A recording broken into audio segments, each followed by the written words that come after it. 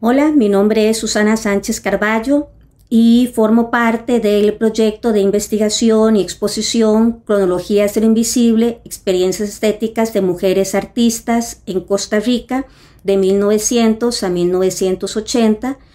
que desde el 2018 hemos venido realizando de manera conjunta y en colaboración con Susi Vargas Alvarado. Y en el 2018 unimos nuestros recursos para poder crear un proyecto que mostrara la gran participación que hubo de mujeres artistas en ese periodo de tiempo que mencioné anteriormente, ya que mm, dentro de una historia oficial patriarcal del arte en Costa Rica no se ha visibilizado y no se había enfatizado en dar eh,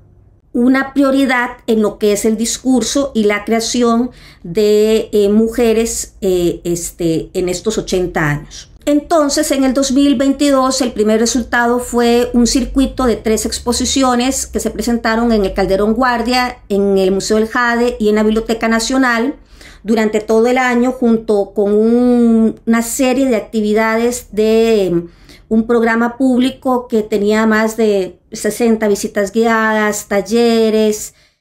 Los dos objetivos que hemos cumplido con lo de la beca catalizadora se han separado como en diferentes momentos. En este primer semestre de este año lo que se hizo fue una sistematización y lograr poder crear una armonía, una narrativa para producir una publicación editorial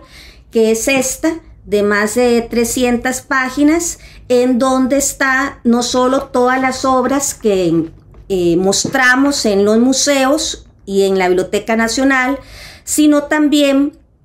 creamos como una narrativa de diferentes perspectivas a partir de un análisis del cuerpo de trabajo de estas mujeres que encontramos.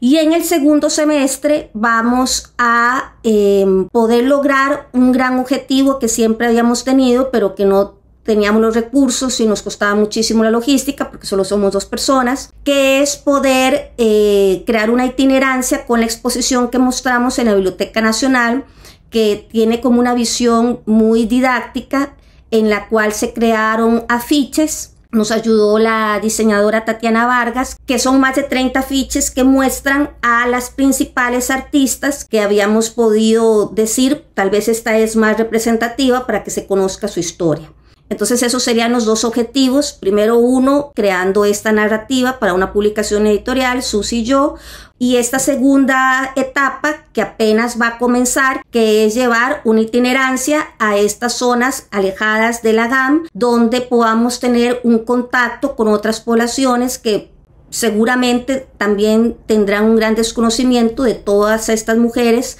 creadoras del siglo XX en Costa Rica que han sido excluidas de una historia oficial del arte costarricense.